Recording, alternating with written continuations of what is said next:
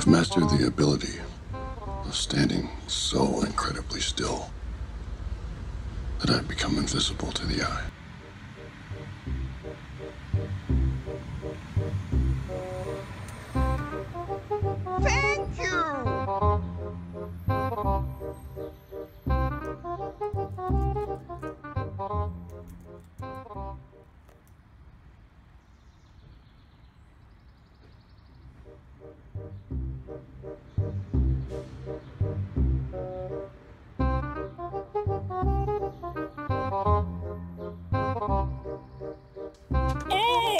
The best ending yet!